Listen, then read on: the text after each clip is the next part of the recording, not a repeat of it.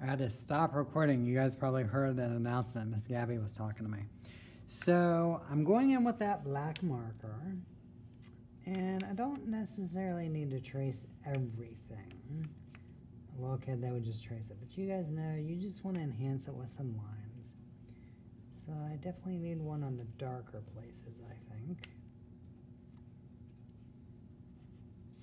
And then maybe a few in some of the lighter places.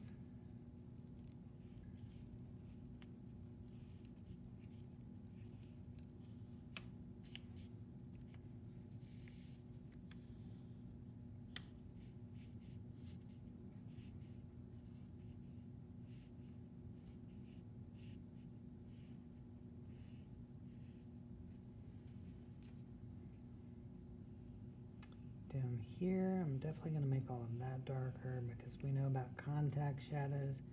So I think it's necessary to put that there. And then I can start working on the globe itself. So I'll go ahead and trace the entire circle and then I'll start going into the images inside for more details.